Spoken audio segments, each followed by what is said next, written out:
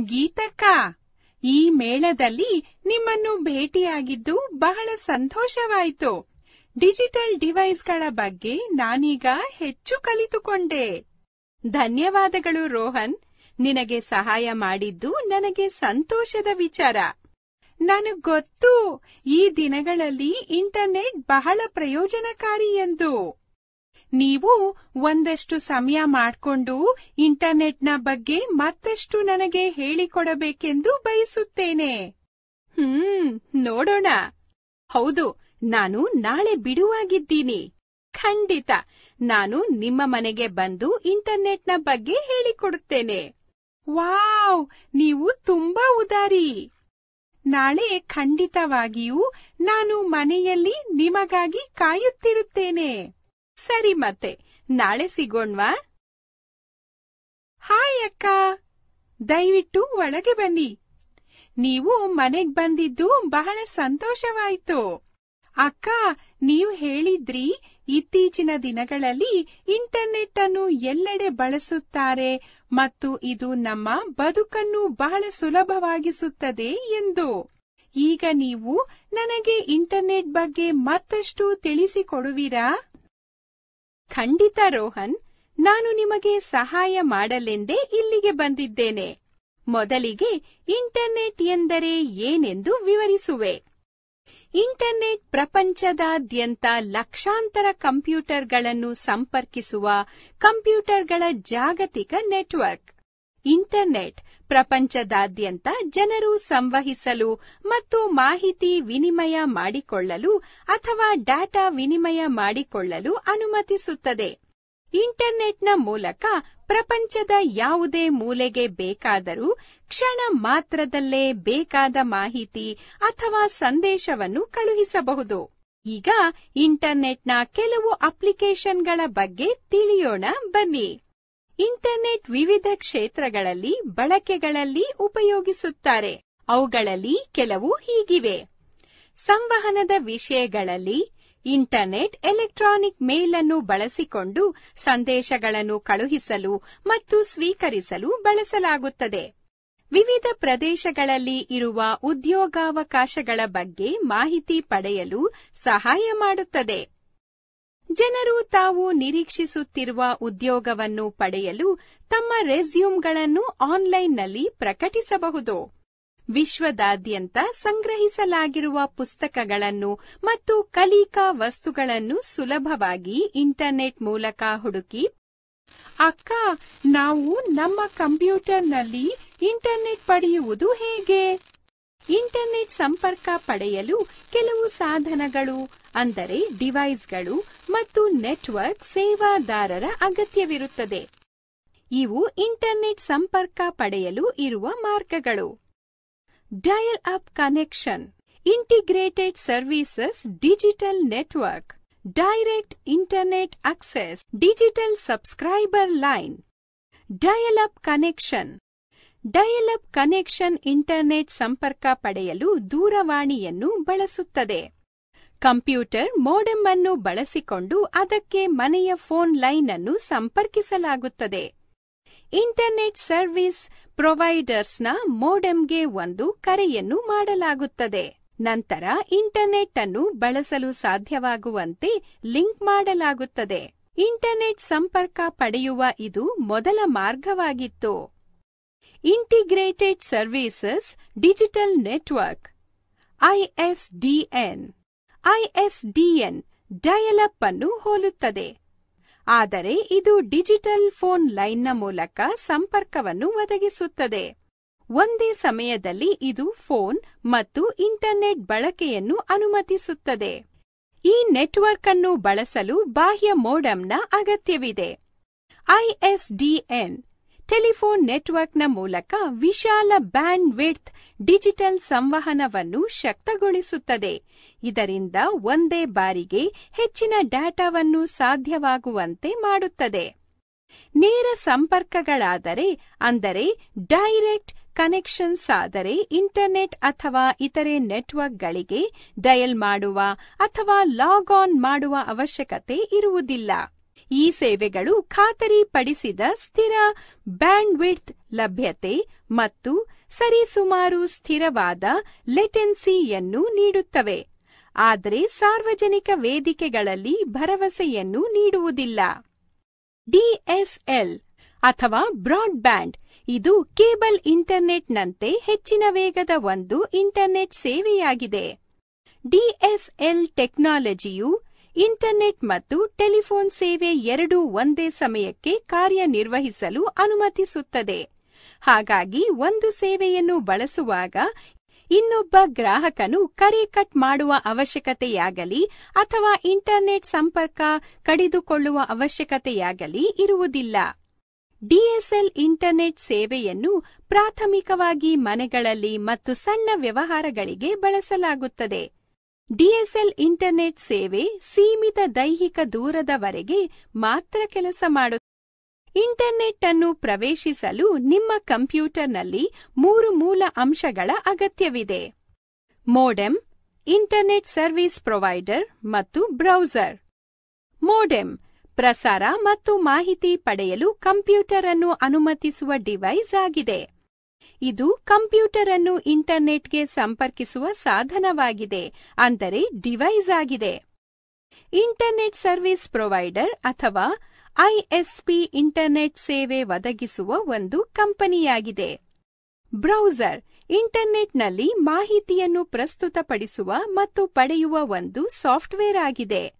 ಕೆಲವು ಜನಪ್ರಿಯ ಬ್ರೌಸರ್ಗಳೆಂದರೆ Explorer Mozilla Firefox Google Chrome ಮತ್ತು ಸಫಾರಿ. ನೀವು ಕೇಬಲ್ ಮತ್ತು ವೈರ್ಲೆಸ್ ತಂತ್ರಜ್ಞಾನ ಬಳಸಿ ಇಂಟರ್ನೆಟ್ ಸಂಪರ್ಕ ಪಡೆಯಬಹುದು. ವೈರ್ಲೆಸ್ ತಂತ್ರಜ್ಞಾನವನ್ನು ಸಪೋರ್ಟ್ ಮಾಡುವ ಅಥವಾ ಬೆಂಬಲಿಸುವ ಕಂಪ್ಯೂಟರ್ ವೈಫೈ ಕಾರ್ಡ್ ಅನ್ನು ಹೊಂದಿರುತ್ತದೆ. ವೈಫೈ ಕಾರ್ಡ್ ಕಂಪ್ಯೂಟರ್ ಮತ್ತು ನೆಟ್ವರ್ಕ್ ನಡುವೆ ವೈರ್ಲೆಸ್ ಸಂವಹನ ಸಕ್ರಿಯಗೊಳಿಸುತ್ತದೆ. ನನ್ನ ಕೆಲವು ಸ್ನೇಹಿತರು ತಮ್ಮ ಮೊಬೈಲ್ನಲ್ಲಿ ಇಂಟರ್ನೆಟ್ ಸೌಲಭ್ಯ ಹೊಂದಿದ್ದಾರೆ. ಅಕ್ಕ, ಮೊಬೈಲ್ನಲ್ಲಿ ಇಂಟರ್ನೆಟ್ ಸೌಲಭ್ಯವನ್ನು ಪಡೆಯುವುದು ಹೇಗೆ? ಮೊಬೈಲ್ ಫೋನ್ನಲ್ಲಿ ಇಂಟರ್ನೆಟ್ ಬಳಸಲು ಈ ವಸ್ತುಗಳ ಅಗತ್ಯವಿದೆ. ಇಂಟರ್ನೆಟ್ ಬಳಕೆಯನ್ನು ಬೆಂಬಲಿಸುವ ಒಂದು ಮೊಬೈಲ್ ಫೋನ್. ಮಾಹಿತಿ ಪ್ರಸರಣ ಬೆಂಬಲಿಸುವ ಒಂದು ಮೊಬೈಲ್ ಫೋನ್ ಸೇವೆ. ಫೋನ್ ಸರ್ವಿಸ್ ಪ್ರೊವೈಡರ್ನೊಂದಿಗೆ ಫೋನ್ನಲ್ಲಿ ಇಂಟರ್ನೆಟ್ ಅನ್ನು ಬಳಸಲು ಬೇಕಾದ ಸೆಟ್ಟಿಂಗ್ ಹೊಂದಿರುವ ಒಂದು ಅಕೌಂಟ್ ಅಥವಾ ಖಾತೆ. ಜನರೇಷನ್ನಲ್ಲಿ ಟೂ ಜಿ ತ್ರೀ ಜಿ ಮತ್ತು ಫೋರ್ ಜಿ. ಜಿ ಅಂದರೆ ನೆಟ್ವರ್ಕ್ನ ಜನರೇಷನ್. ಜನರೇಷನ್ ಸಂಖ್ಯೆ ಹೆಚ್ಚಾದಂತೆಲ್ಲ ಮಾಹಿತಿಯನ್ನು ಕಳುಹಿಸುವ ಮತ್ತು ಸ್ವೀಕರಿಸುವ ವೇಗ ಹೆಚ್ಚಿರುತ್ತದೆ. ಆದ್ದರಿಂದ ವೈರ್ಲೆಸ್ ನೆಟ್ವರ್ಕ್ ಮೂಲಕ ಹೆಚ್ಚಿನ ಕಾರ್ಯಕಾರಿತ್ವವನ್ನು ತಲುಪುವ ಸಾಮರ್ಥ್ಯವನ್ನು ಹೊಂದಿರುತ್ತದೆ. ಟೂ ಜಿ ನೆಟ್ವರ್ಕ್ಸ್ ಕಿರಿದಾದ ಡಿಜಿಟಲ್ ನೆಟ್ವರ್ಕ್ಗಳನ್ನು ಆಧರಿಸಿವೆ. ಸಿಗ್ನಲ್ಗಳು ಡಿಜಿಟಲ್ ಸ್ವರೂಪದಲ್ಲಿ ಪ್ರಸರಣಗೊಳ್ಳುತ್ತವೆ ಮತ್ತು ನಾಟಕೀಯವಾಗಿ ಕರೆಗಳ ಗುಣಮಟ್ಟವನ್ನು ಹೆಚ್ಚಿಸುತ್ತದೆ ಮತ್ತು ಡಾಟಾ ಪ್ರಸರಣದಲ್ಲಿರುವ ಸಂಕೀರ್ಣತೆಯನ್ನು ಕಡಿಮೆ ಮಾಡುತ್ತದೆ. ಮೂರನೇ ಜನರೇಷನ್ನ ಮೊಬೈಲ್ನ ನೆಟ್ವರ್ಕ್ ಜನಪ್ರಿಯವಾಗಿದೆ. ಮತ್ತು ಮೊಬೈಲ್ ಮತ್ತು ಟ್ಯಾಬ್ಲೆಟ್ನಿಂದ ಇಂಟರ್ನೆಟ್ ಅನ್ನು ಪ್ರವೇಶಿಸುವಂತೆ ಮಾಡುತ್ತದೆ. ತ್ರೀ ಜಿ ನೆಟ್ವರ್ಕ್ನಲ್ಲಿ ಡಾಟಾ ಪ್ರಸರಣದ ವೇಗವು ಮುನ್ನೂರ ಎಂಬತ್ನಾಲ್ಕು ಕೆಬಿಪಿಎಸ್ನಿಂದ ಎರಡು ಎಂಬಿಪಿಎಸ್ನ ಮಧ್ಯೆ ಇರುತ್ತದೆ. ತ್ರೀ ಜಿ ನೆಟ್ವರ್ಕ್ ಹೆಚ್ಚಿನ ಡಾಟಾ ಪ್ರಸರಣಕ್ಕೆ ಅವಕಾಶ ಮಾಡಿಕೊಡುತ್ತದೆ. ಹಾಗಾಗಿ ನೆಟ್ವರ್ಕ್, ಧ್ವನಿ ಮತ್ತು ವಿಡಿಯೋ ಕರೆ, ಫೈಲ್ ಪ್ರಸರಣ, ಇಂಟರ್ನೆಟ್ ಸರ್ಫಿಂಗ್, ಆನ್ಲೈನ್ ಟಿವಿ, ಹೆಚ್ಚಿನ ವ್ಯಾಖ್ಯಾನವಿರುವ ವಿಡಿಯೋಗಳು ವೀಕ್ಷಿಸಲು, ಗೇಮ್ ಆಡುವುದು ಮತ್ತು ಇತ್ಯಾದಿಗಳನ್ನು ಸಕ್ರಿಯಗೊಳಿಸುತ್ತದೆ. ಯಾವಾಗಲೂ ಇಂಟರ್ನೆಟ್ ಸಂಪರ್ಕದಲ್ಲಿ ಇರಬಯಸುವವರಿಗೆ ತ್ರೀ ಜಿ ಒಂದು ಅತ್ಯುತ್ತಮ ಆಯ್ಕೆಯಾಗಿದೆ. ನಾಲ್ಕನೇ ಜನರೇಷನ್ ಮೊಬೈಲ್ ಜಾಲಗಳು ಹಲವು ಮೌಲ್ಯಾಧಾರಿತ ಸವಲತ್ತುಗಳನ್ನು ಒದಗಿಸುತ್ತವೆ. ಎಲ್ಲಾ ತ್ರೀ ಜಿ ಸೌಲಭ್ಯಗಳನ್ನು ಜೊತೆಗೆ ಚಾವಣಿ ಮೂಲಕ ಮಾಹಿತಿ ಪ್ರಸರಣ ವೇಗವು ನೂರು ಎಂಬಿಪಿಎಸ್ ಯಿಂದ ಒಂದು ಜಿಬಿಪಿಎಸ್ ನಡುವೆ ಇದೆ ಎಂದು ನಂಬಲಾಗಿದೆ.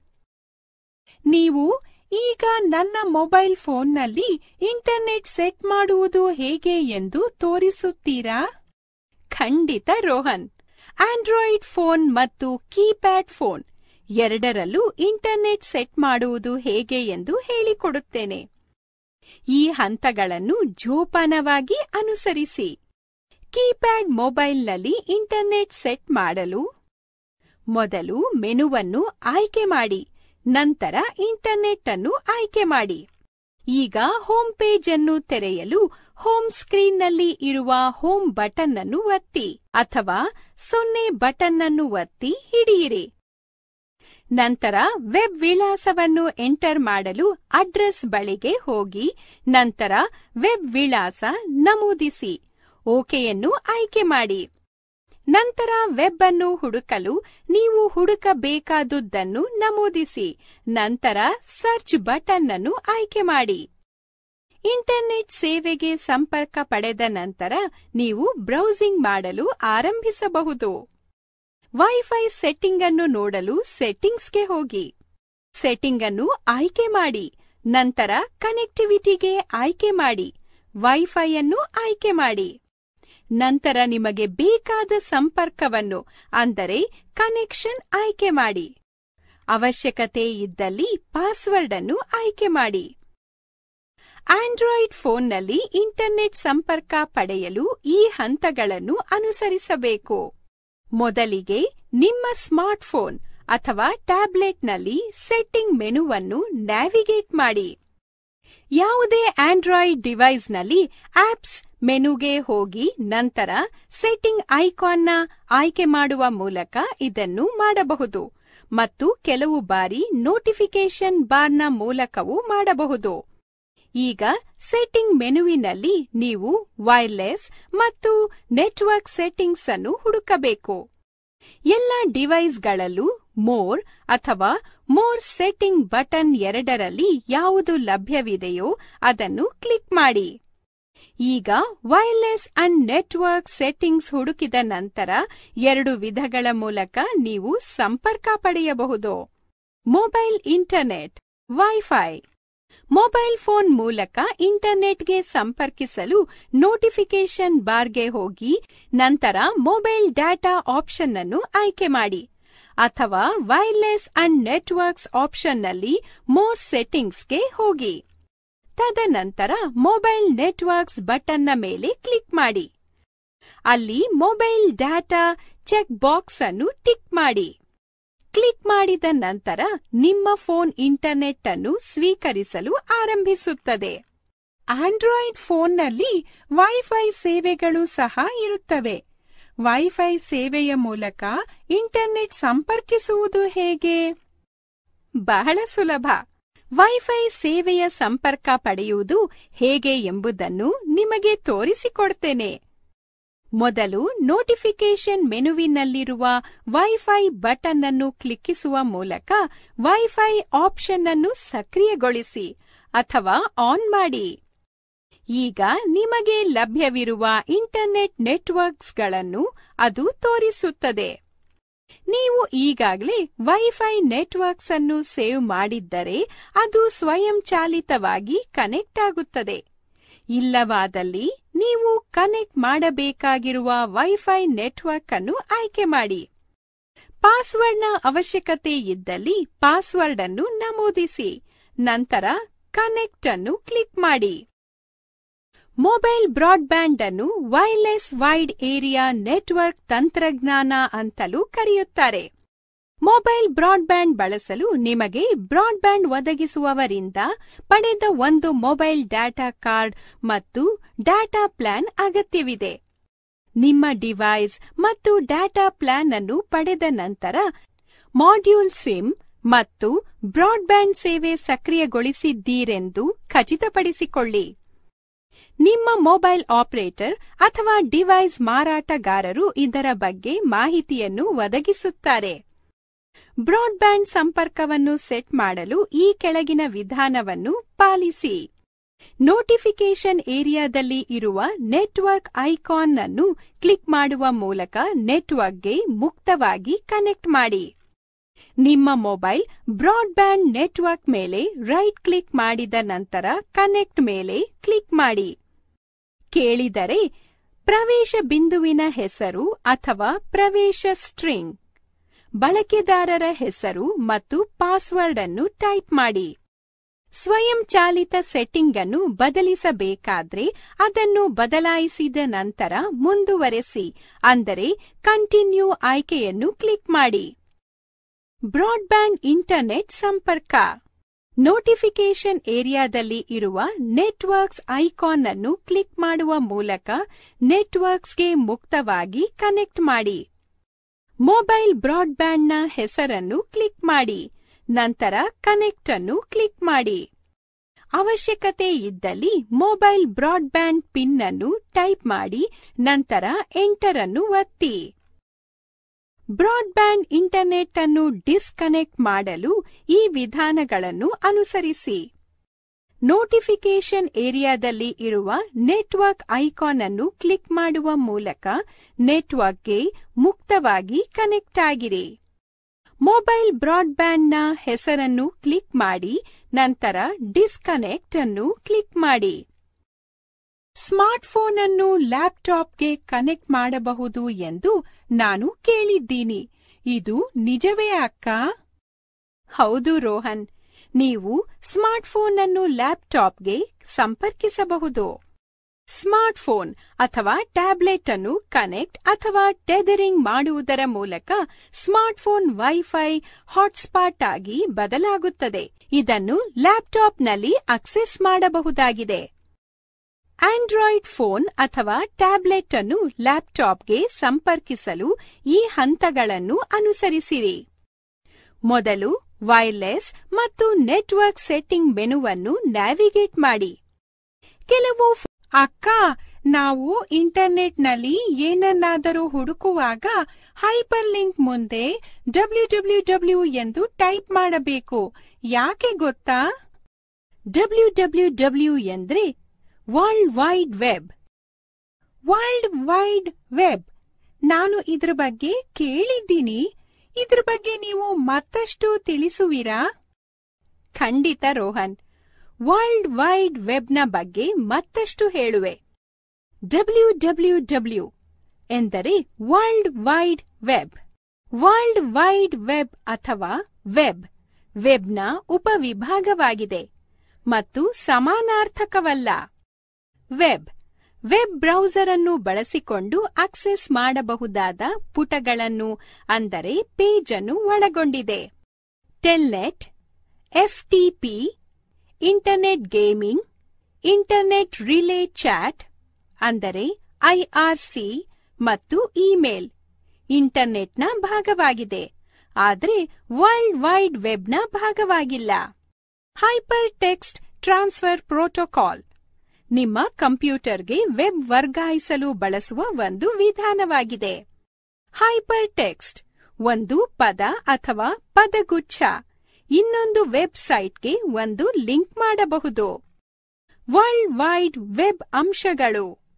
Web server, web browser, web page website web address ಅಥವಾ ವಿಳಾಸ. Web server. ಇಂಟರ್ನೆಟ್ನಲ್ಲಿ ಬಳಕೆದಾರರಿಗೆ ವಿಷಯ ಅಥವಾ ಸೇವೆಗಳನ್ನು ನೀಡುವ ಒಂದು ವ್ಯವಸ್ಥೆಯಾಗಿದೆ. ವೆಬ್ ಸರ್ವರ್ಗಳು ವೆಬ್ ಪುಟಗಳನ್ನು ತಲುಪಿಸುವ ಕಂಪ್ಯೂಟರ್ಗಳಾಗಿವೆ. ಪ್ರತಿ ವೆಬ್ ಸರ್ವರ್ ಐಪಿ ವಿಳಾಸ ಮತ್ತು ಡೊಮೇನ್ ಹೆಸರನ್ನು ಹೊಂದಿದೆ. ಉದಾಹರಣೆಗೆ, ನೀವು ನಿಮ್ಮ ಬ್ರೌಸರ್ನಲ್ಲಿ URL HTTP colon back slash W W W dot Google dot com back slash index dot HTML ಅನ್ನು ಎಂಟರ್ ಮಾಡಿದರೆ ಇದು ವೆಬ್ ಸರ್ವರ್ನ ಡೊಮೇನ್ ನೇಮ್ ಆದ ಗೂಗಲ್ ಡಾಟ್ ಕಾಮ್ ವಿನಂತಿಯನ್ನು ಕಳುಹಿಸುತ್ತದೆ. ಸರ್ವರ್ ನಂತರ ಪುಟವನ್ನು ನೇಮ್ಡ್ ಇಂಡೆಕ್ಸ್ ಡಾಟ್ ಎಚ್ ಟಿಎಂಎಲ್ಗೆ ತಂದು ನಂತರ ನಿಮ್ಮ ಬ್ರೌಸರ್ಗೆ ಕಳುಹಿಸುತ್ತದೆ. ವೆಬ್ ಬ್ರೌಸರ್ ವರ್ಲ್ಡ್ ವೈಡ್ ವೆಬ್ನಲ್ಲಿ ವಿಷಯವನ್ನು ಪತ್ತೆ ಮಾಡಲು, ಹಿಂಪಡೆಯಲು, ಚಿತ್ರಗಳು, ವಿಡಿಯೋ ಮತ್ತು ಇತರ ಫೈಲ್ಗಳನ್ನು ಸೇರಿದಂತೆ ಇತರ ವಿಷಯಗಳನ್ನು ತೋರಿಸಲು ಬಳಸಲಾಗುವ ಒಂದು ಸಾಫ್ಟ್ವೇರ್ವಾಗಿದೆ. ಒಬ್ಬ ಕ್ಲೈಂಟ್ ಅಥವಾ ಸರ್ವರ್ ಮಾಡೆಲ್ ಆಗಿ browser website world wide web ಪುಟಗಳ ಗುಂಪಾಗಿದೆ.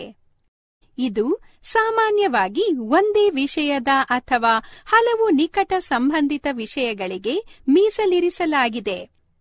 ನೀವು ವೆಬ್ಸೈಟ್ ಅನ್ನು ಅಕ್ಸೆಸ್ ಮಾಡಿದಾಗ ಡಿಸ್ಪ್ಲೇ ಆಗುವ ಮೊದಲ ಪುಟವನ್ನು ಹೋಮ್ ಪೇಜ್ ಎಂದು ಕರೆಯುತ್ತಾರೆ. ವೆಬ್ ವಿಳಾಸ ಅಕ್ಸೆಸ್ ಪ್ರೋಟೋಕಾಲ್, ಡೊಮೇನ್ ನೇಮ್ ಮತ್ತು ಫೈಲ್ ಪಾತ್ ಅನ್ನು ಒಳಗೊಂಡ ಸ್ಟ್ರಿಂಗ್ ಆಗಿದೆ. ಸಾಮಾನ್ಯವಾಗಿ ಇದನ್ನು ವೆಬ್ ಪೇಜ್, ಇಮೇಜ್ ಅಥವಾ ಇಂಟರ್ನೆಟ್ನ ಇತರೆ ಡಾಕ್ಯುಮೆಂಟ್ ಅನ್ನು ಸೂಚಿಸಲು ಉಪಯೋಗಿಸುತ್ತಾರೆ. Web browsers. ವರ್ಲ್ಡ್ ವೈಡ್ ವೆಬ್ನಲ್ಲಿ ಮಾಹಿತಿಯನ್ನು ಹುಡುಕಲು ಅಭಿವೃದ್ಧಿಪಡಿಸಲಾದ ಅಪ್ಲಿಕೇಶನ್ ಪ್ರೋಗ್ರಾಂ ಆಗಿದೆ. ವೆಬ್ ಬ್ರೌಸರ್ ನೀಡುವ ಸಾಮಾನ್ಯ ಫೀಚರ್ಗಳು ಡೌನ್ಲೋಡ್ ಬುಕ್ ಮಾರ್ಕ್ ಮತ್ತು ಪಾಸ್ವರ್ಡ್ ನಿರ್ವಹಣೆಯಾಗಿದೆ.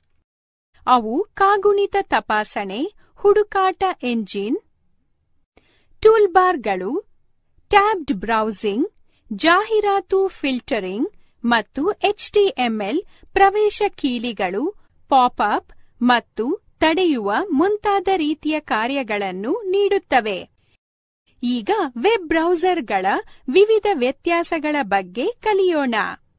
ವಿವಿಧ ರೀತಿಯ ವೆಬ್ ಬ್ರೌಸರ್ಗಳು ಯಾವುವೆಂದರೆ Internet Explorer Firefox Chrome Opera Safari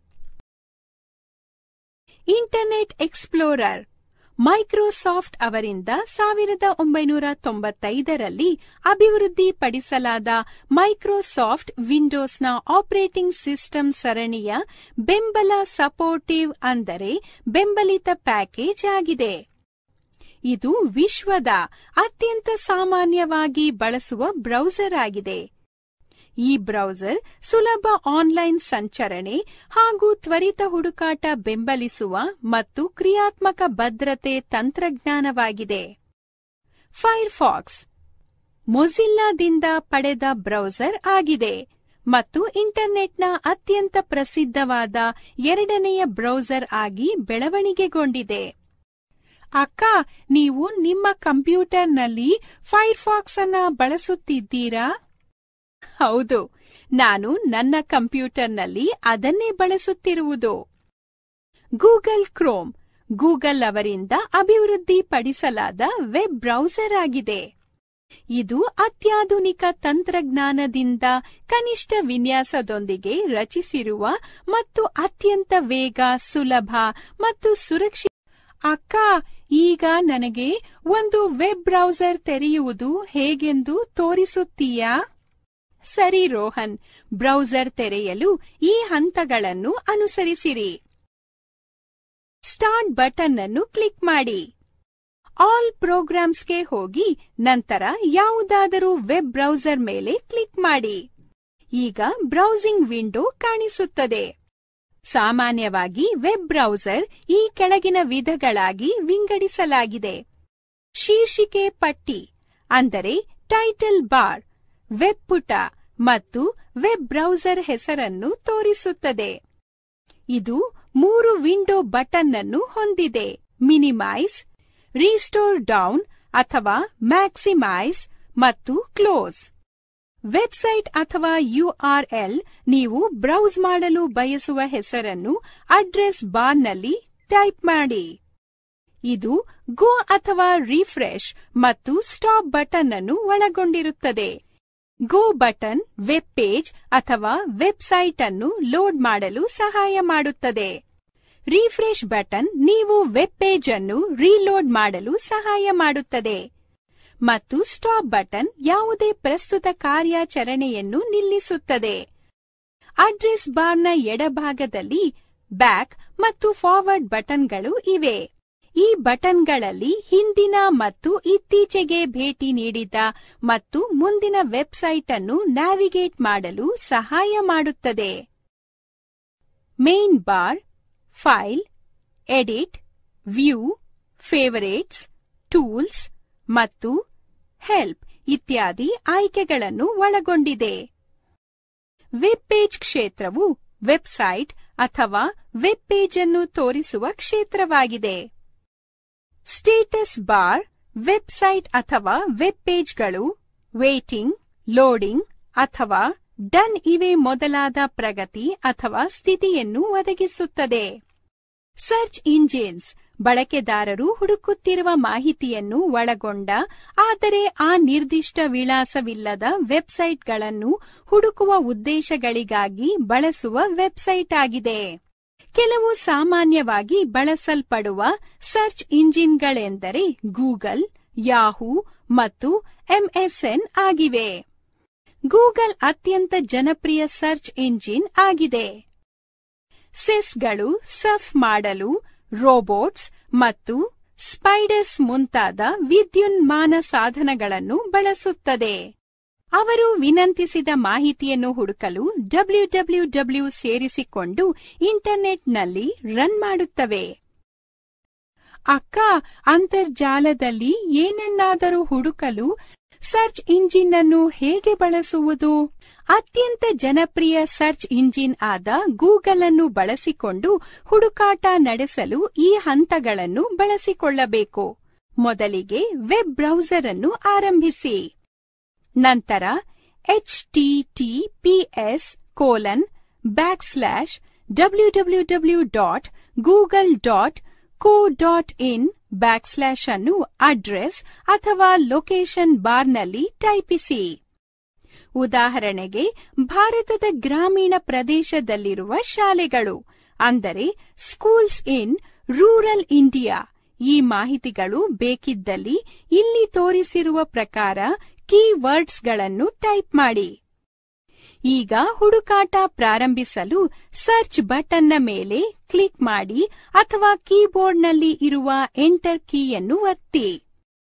ಫಲಿತಾಂಶಗಳಾಗಿ ತೋರಿಸಲ್ಪಟ್ಟ ಲಿಂಕ್ಗಳ ಪಟ್ಟಿಯನ್ನು ನೀವು ಕಾಣಬಹುದು. ಅಂದರೆ ಪ್ರತಿ ವೆಬ್ಸೈಟ್ನ ಬಗ್ಗೆ ಸಣ್ಣ ವಿವರಣೆ ಕಾಣಿಸುತ್ತದೆ. ಅತ್ಯಂತ ಸೂಕ್ತ ಲಿಂಕ್ ಮೇಲೆ ಕ್ಲಿಕ್ ಮಾಡಿ. ನೀವು ಯಾವುದೇ ವಿಷಯದ ಬಗ್ಗೆ ಮಾಹಿತಿ ಕಂಡುಹಿಡಿಯಲು ಬಯಸಿದರೆ ಸರ್ಚ್ ಇಂಜಿನ್ನ ಹೋಮ್ ಪೇಜ್ಗೆ ಹೋಗಲು ಬ್ಯಾಕ್ ಬಟನ್ ಅನ್ನು ಕ್ಲಿಕ್ ಮಾಡಿ. ಈಗ ನೀವು ಹುಡುಕಲು ಬಯಸುವ ಮಾಹಿತಿಯ ಕೀವರ್ಡ್ಸ್ಗಳನ್ನು ಟೈಪ್ ಮಾಡಿ. ನಂತರ ಸರ್ಚ್ ಬಟನ್ ಅನ್ನು ಕ್ಲಿಕ್ ಮಾಡಿ. ವಿವಿಧ ವೆಬ್ಸೈಟ್ ಲಿಂಕ್ಗಳು ಕಾಣಿಸುತ್ತದೆ. ಸಂಬಂಧಿತ ಲಿಂಕ್ ಆಯ್ಕೆ ಮಾಡಿ ಮತ್ತು ಅಗತ್ಯವಾದ ಮಾಹಿತಿಯನ್ನು ಓದಿರಿ. ಯಾವುದಾದರೂ ಲಿಂಕ್ ನಿಮಗೆ ಆಸಕ್ತಿದಾಯಕ ಎನಿಸಿದರೆ ಮತ್ತು ನೀವು ಮತ್ತೆ ವಿಸಿಟ್ ಮಾಡಲು ಬಯಸಿದರೆ ಆ ಪುಟವನ್ನು ಬುಕ್ ಮಾರ್ಕ್ ಮಾಡಿಕೊಳ್ಳಬಹುದು. ನಂತರ ನಿರ್ಗಮಿಸಲು ಬ್ರೌಸಿಂಗ್ ವಿಂಡೋದ ಬಲ ಟಾಪ್ ಮೂಲೆಯಲ್ಲಿ ನಿಕಟ ಕ್ಲೋಸ್ ಬಟನ್ ಮೇಲೆ ಕ್ಲಿಕ್ ಮಾಡಿ. ರೋಹನ್ ಸರ್ಚ್ ಇಂಜಿನ್ ಅನ್ನು ಬಳಸುವುದನ್ನು ನೀವೇ ಒಮ್ಮೆ ಪ್ರಯತ್ನಿಸಬೇಕೆಂದು ನಾನು ಇಚ್ಛಿಸುತ್ತೇನೆ. ಖಂಡಿತ! ಏನನ್ನು ಹುಡುಕಬೇಕೆಂದು ಹೇಳಿರಿ. ಸರಿ. ಗ್ರಾಮೀಣ ಭಾರತದಲ್ಲಿ ಕಂಪ್ಯೂಟರ್ ಸಾಕ್ಷರತೆ. ಇದನ್ನು ಗೂಗಲ್ ಬಳಸಿ ಹುಡುಕು. ಹಂತ ಒಂದು. ವೆಬ್ ಬ್ರೌಸರ್ ಅನ್ನು ಓಪನ್ ಮಾಡಿ. ಎರಡನೇ ಹಂತ. ಅಡ್ರೆಸ್ ಬಾರ್ನಲ್ಲಿ W W W dot Google dot com ಎಂದು ಟೈಪ್ ಮಾಡಿ. ಮೂರನೇ ಹಂತ, ಸರ್ಚ್ ಬಾಕ್ಸ್ನಲ್ಲಿ ಗ್ರಾಮೀಣ ಭಾರತದಲ್ಲಿ ಕಂಪ್ಯೂಟರ್ ಸಾಕ್ಷರತೆ ಎಂದು ಟೈಪ್ ಮಾಡಿ. ನಾಲ್ಕನೆಯ ಹಂತ, ಗೂಗಲ್ ಸರ್ಚ್ ಮೇಲೆ ಕ್ಲಿಕ್ ಮಾಡಿ. ಐದನೇ ಹಂತ, ಈಗ